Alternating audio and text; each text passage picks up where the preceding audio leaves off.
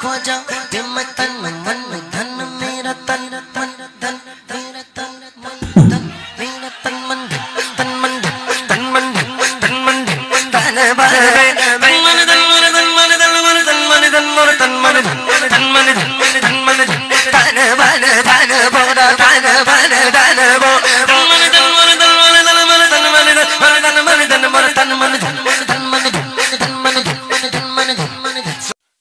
मोहतरम दोस्तों, अस्सलाम वालेकुम वरहमतुल्लाहि वबरकातुहू। इन शाहिर साहब को आपने सुन लिया। ये जो जनाब है, तन मन धन, तन मन धन, तन मन धन, ये धुन और ये तरज गाने की आपने सुन ही ली और इसे सुनने के बाद अब आप क्या क्या सोच रहे होंगे, आप खुद ही जानते हैं कि इस स्टेजों का माहौल कितना खराब होता जा रहा है। अल्लाह अपना रहम फरमाए। इन्हें सुनने के बाद जो बेचारे अजनबी लोग हैं, वो यही सोच रहे होंगे कि यार ये नाद पढ़ रहे हैं, मनकबत पढ़ रहे हैं या गाना गा रहे हैं।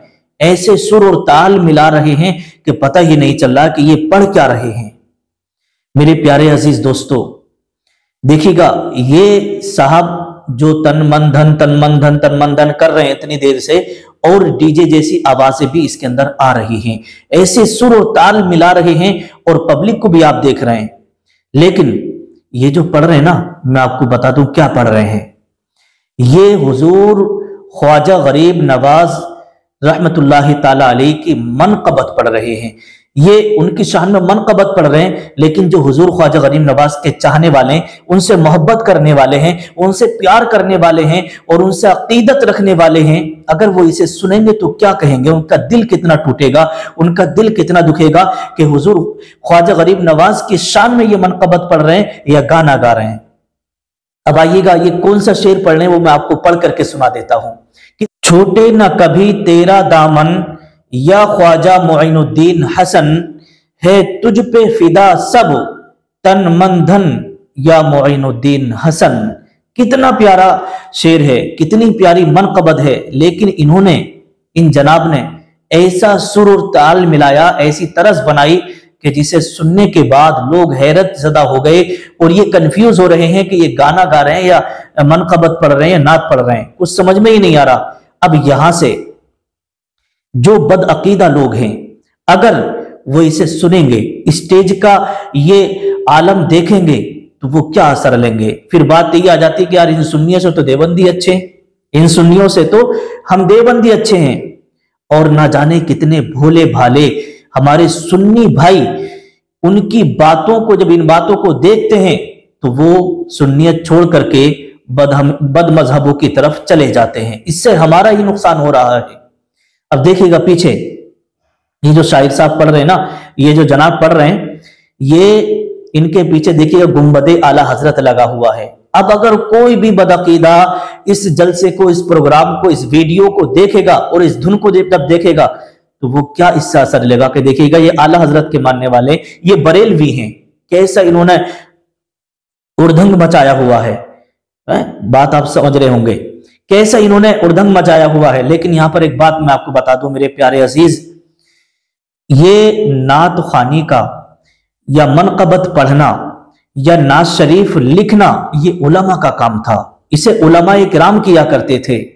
लेकिन अब ये नात खानी, ये नाज शरीफ का पढ़ना, ये अब वो लोग कर रहे हैं जिन्हों, जिनकी तालीम आधी अधूरी भी नहीं होती। अब अब का तो हाल ये है, अगर छोटा सा बच्चा है, उसकी आवाज़ अगर अच्छी है तो उसे सीधा स्टेज पे ढकेल दिया जाता है। अगर वो पूरे स्टेज वालों को अच्छे तरीके से संभाल ले और पब्लिक को खुश कर दे तो फिर उसे इल्म हासिल करने की ज़रूरत नहीं पड़ती। है ना? घर वाले ज़ाहिर सी बात है, जब रोज़ाना पैसा आता है, रोज़ाना बच्चा कमा के लाता है तो घर वाले ये नहीं कहते कि, बेटा, तुम तालीम हासिल करो, इल्म दीन सीखो, मुफ्ती बनो, मुहद्दिस बनो। नहीं, बल्कि वो ये सोचते कब हमारा बेटा कामयाब हो गया? लेकिन मेरे प्यारे अज़ीज़ दोस्तों, इस बात को आप याद रखिएगा कि इल्म दीन का सीखना ये फ़र्ज़ है। जब इल्म दीन होगा, और जब आप आलिम होंगे, जब आप मुफ्ती होंगे तो आपको ये भी पता होगा कि नात हमें कैसे पढ़ना है मन मनकबत हमें किस अंदाज में पढ़ना है। लेकिन यहाँ पर सोचने वाली बात यह भी है कि पीछे देखिएगा कितने उलामा बैठे हुए हैं। उनमें से कोई भी इनको मतलब ये नहीं कह रहा कि भाई तुम कौन से अंदाज में नात पढ़ रहे हो। खैर, कोई बात नहीं है। ये आपने तन मन धन तन मन धन वाली जनाब से आप मिल लिए हैं। अब आइएगा एक वीडियो आपको मैं और दिखाने के लिए जा रहा हूँ। पहले इस वीडियो को आप देखिएगा, फिर उसके बाद में इंशाल्लाह कुछ खास बातें मैं आपसे करूँगा इससे आप खुद ही समझ जाएँगे आइएगा वीडियो देखिएगा आप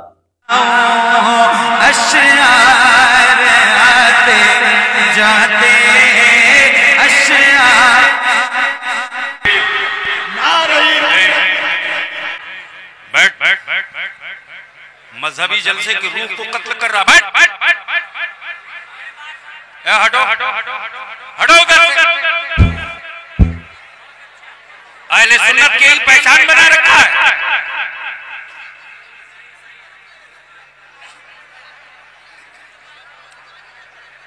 बाप दादा की गरीबी भूल गए हो क्या? क्या है जी? मज़हब की रूह को कत्ल नहीं होने दूँगा, कोई भी हो।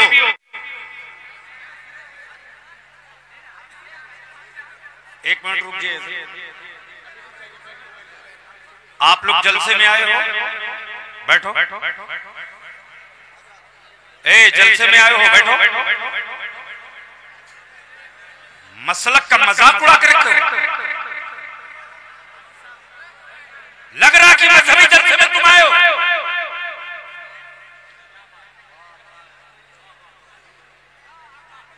आका करीम की नाक को हुड़दंग मचाओगे औकात में रहो तुम्हारी जेब में कितने पैसे में जानता हूँ?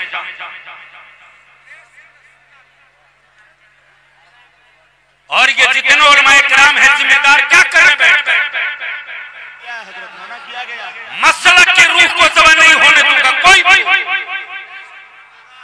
कल बस अकीदे लिखेंगे आपसे पूछेंगे, आप क्या कर रहे थे बैठ बैठिए मेरी हिम्मत को सराहो, मेरे हमराह चलो। मेरी हिम्मत को सराहो, मेरे हमराह चलो। मैंने एक दीप जलाया है हवाओं के खिलाफ। और आगे कि शायद के उतर जाए तेरे दिल में मेरी बात। शायद के उतर जाए तेरे दिल में मेरी बात।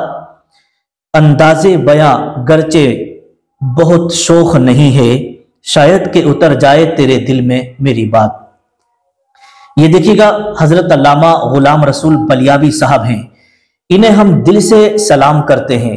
इनके हौसले को, इनके जज्बे को इन्होंने जो ये काम अंजाम दिया है और इस बात की जो पहल की है, शुरुआत की है कि स्टेज पर अगर कोई जरा सा भी गलती करेगा तो उसे वहीं पर पकड़ लिया जाएगा, उसे आगे नहीं बढ़ने दिया जाएगा और उसे वहीं पर रोक दिया जाएगा। अंदाज क्या था? कैसा हुड़दंग मचा रखा था इन्होंने? और पब्लिक कैसे उठ उठ करके इनाम वगैरह और ये पैसों का पूरा माहौल खराब करके रख दिया कि ये पता ही नहीं चल रहा था कि दीनी जलसा है या कोई दूसरी दूसरी महफिल हो रही है।